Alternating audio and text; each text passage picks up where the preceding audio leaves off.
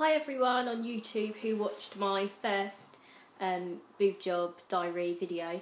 Basically, I said on there that my surgery was in March, but it actually has been majorly delayed and I'm actually having it in two days. So my surgery is on the 5th of April and I'm travelling tomorrow and tomorrow morning and then I'm having my surgery early morning on the 5th. So if anyone has been waiting for um, video diaries for my boob job, then they will be coming. And I've had quite a few people, you know, message me saying, "Oh, I'm thinking of um, doing it as well." And then what they've done is they've posted theirs in the time I've been waiting to have mine, so their their videos have become helpful to me instead of the other way around, if that makes sense. So if you're looking into a boob job or whatever, and you've been looking for videos, then I haven't just, you know, not done them. I'm definitely doing them. You're going to see the good, the bad, the ugly. I'm, you know, having my surgery on the 5th. So stay tuned, um, hit the subscribe button if you want.